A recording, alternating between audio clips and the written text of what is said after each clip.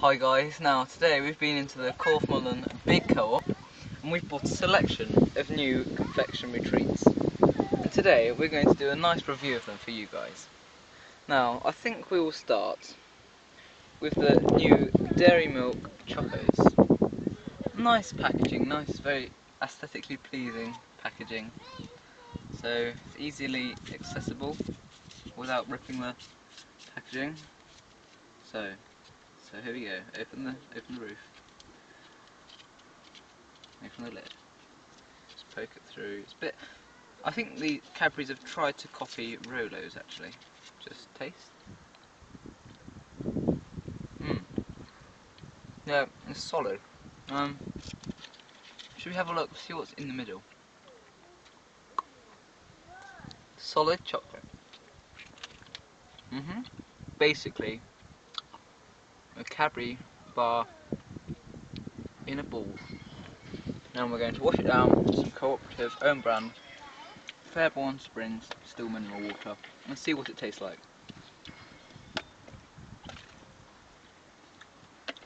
Good mixture of flavours there. You can taste the cocoa beans made by the Ghanaians. It's very, very good. Would you like to try? Um, yeah, I'll, I'll have some, yes. Um, let's have a bit, um, it's not the easiest of packaging to unravel. No. Mm. Nice. Can we can we get a sample here of the of the crunch made as you bite into this Yes. this confectionery treat? I mean, it tastes like a pillow of of pillows. It's, it's nice. It's it's, it's heavenly. So let's listen. Quite quite a silent one. Good for, good for eating in the in the silent section of the train where you're not allowed to make too much noise. and um, in school, like, really And helps. yeah, in Um, school, in the RPSC lessons that are really shit. Like you like. Oh. The crunch is nice and subtle. Mm. Yeah. doesn't give too much away. Like, if you're like being a spy, like a, a ninja or something, like that, you can go up to your subjects, pause, have one of these, then then kill them, whatever. Yes. It's good, good. Finish those off later and wash it down with some Fairborn Springs. Some nice Fairborn Springs.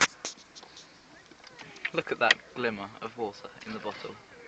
Only about 55p as well. Good, good value for money. And some of the some of the money goes to the One Foundation. A 3p per litre.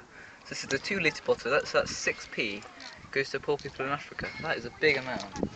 And they were Cadbury's Chocos.